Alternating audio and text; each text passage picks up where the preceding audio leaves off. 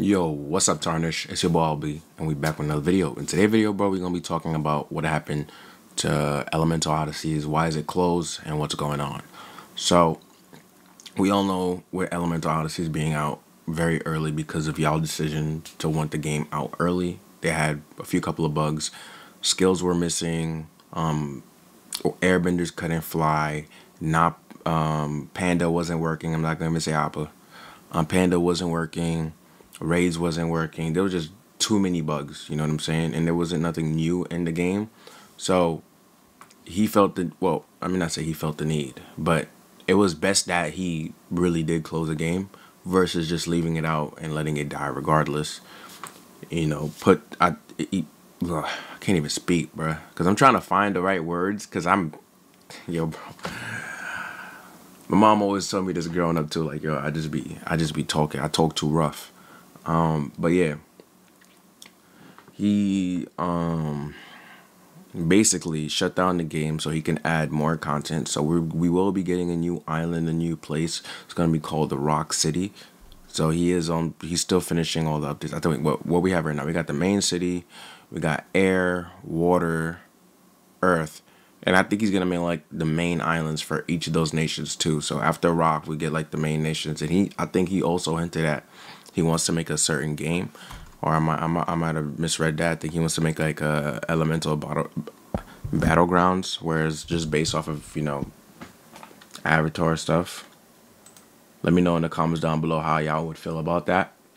Uh, me personally, I don't know. I'm gonna try it out, post some content on it, and if he does, if that is what he's working on too, post some content on it and see what it do.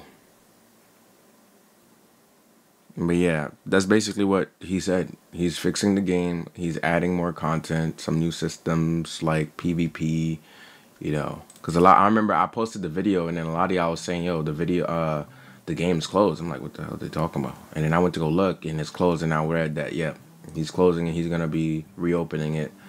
We don't know when, but when he does reopen it, there's gonna be new systems in place.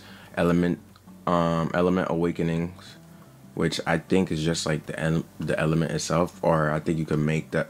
I don't know how he explained it. I can't find the text either, but I think you're gonna be able to make like magma, like all your skill sets turn into magma. You know, so he probably just changed the texture for all the rock modes, turning just you know magma pillar, magma wall, then just call it a day.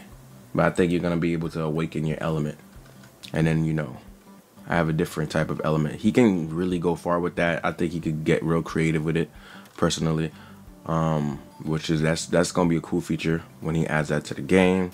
Um, PvP. I think he's also revamping um, the trade hub, so I can't wait to see that because the last trade hub, I don't know. I, I feel like it was something that was made very quickly. Um, yeah, and then he's also I think retexturing some items and stuff and the fact that the equalizer rate was just in the middle of the street or like on the sidewalk.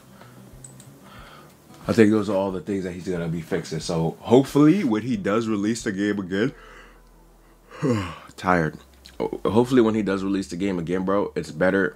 Um, no more bugs. We got content. We got the PvP areas, and you know we can just be litty. But I'm I'm gonna end my video off here, bro. Brush your head. Take care. Catch y'all on the next video. Eeks out. Yo, I see all the love, bro. I see a lot of y'all subscribing. I appreciate it, bro. It means a lot to me. Thank you for subbing. Thank you for joining the family. And I want to continue to continue to make some great content for y'all. Peace.